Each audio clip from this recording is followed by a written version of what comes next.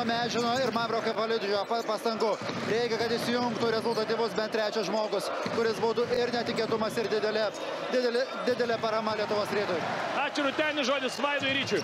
Ačiū Ervinui, ačiū Rūtenį, čia pražanga prieš Vasilijai Mitičių, dar prieš dedamą dvi žingsnį. Bet kaip Mitičius perskaitė Kreimerio sumanimą, pavogė kamolį ir išprovokavo dabar pražangą greitajame polime. Čia atrodo vos neįvyksta konfrontacija tarp žaidėjų ir sirgalių.